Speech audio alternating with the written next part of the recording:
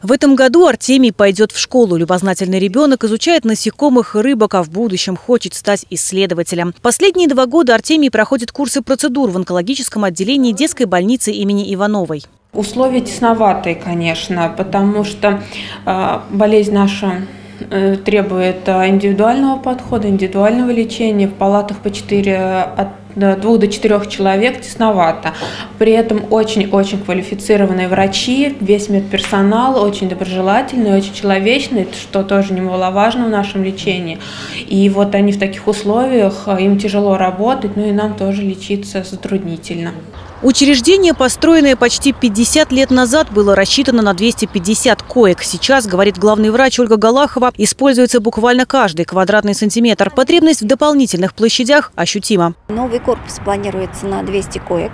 Это будет хирургический корпус, в котором будет размещаться хирургическое отделение, отделение онкогематологии. Естественно, там будут э, новые современные операционные, причем одна из них будет э, специально сделана для пересадки костного мозга. Эти и другие социально значимые проекты министр здравоохранения Самарской области Михаил Ратманов представил в Совете Федерации. С 18 по 22 апреля в Верхней Палате парламента проходили тематические дни 63-го региона.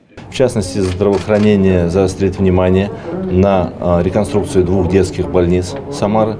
Это больница имени Ивановой и детская областная инфекционная больница, ранее известная как городская больница номер 5.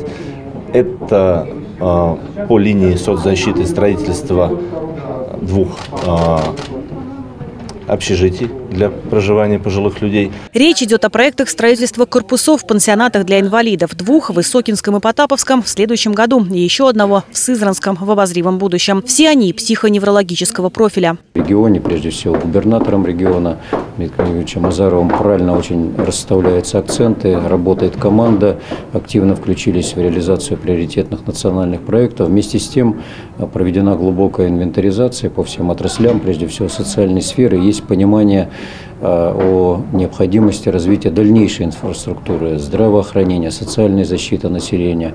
Безусловно, э, эти предложения войдут в проект постановления Совета Федерации. Сегодня на профильном комитете по социальной политике они были поддержаны.